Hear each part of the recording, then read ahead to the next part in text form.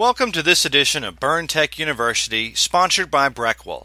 In today's video, we'll show you how to properly replace the room blower in your SP4000 pellet stove.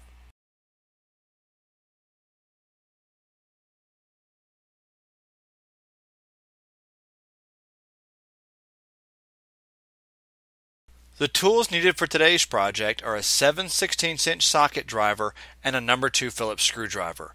You can also use a 7 16 inch socket and a ratchet. Before starting our project, first make sure your stove is completely cool and then remove the power cord from the back of your stove. Now, using your number 2 Phillips screwdriver, loosen the three screws securing the left side panel of the stove that contains the control board. Once the screws are loose, simply lift this panel up and away from the stove. Holding this side panel in one hand, use your other hand to remove the Molex plug on the bottom of the control board. You may need to use your thumb to release the locking lever.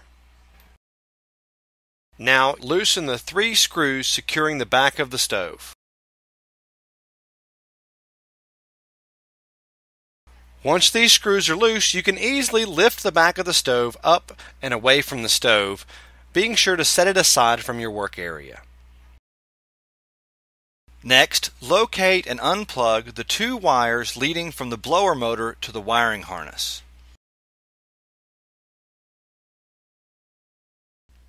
Using your socket driver, locate and remove the four bolts securing the blower to the stove.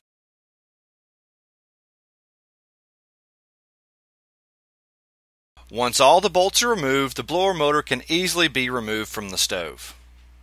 Now is a good time to check the seal between your blower motor and the stove. If the seal is damaged, it will need to be replaced.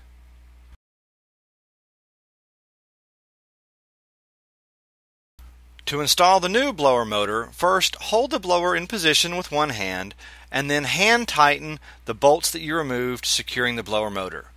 Then, using your wrench, firmly tighten all of the bolts on the motor. Once the bolts are tight, reconnect the wiring harness to the two leads leading from the new blower motor.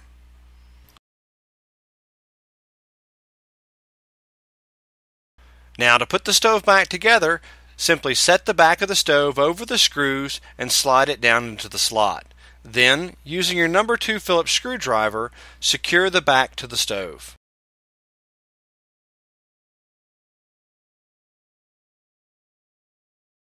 To replace the panel, first hold it in one hand and then using your other hand replace the Molex plug into the bottom of the control panel. Then set the control panel in place over the screws and slide it down. Be sure to tighten the three screws that you loosened previously.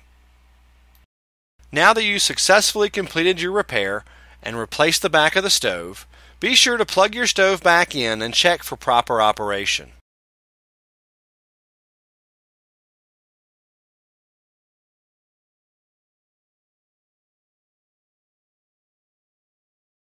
Thank you for watching this edition of Burn Tech University. Should you have any further questions, please visit our website at www.breckwell.com or you can call our customer service department at 1 866 606 8444. Thank you for watching Burn Tech University.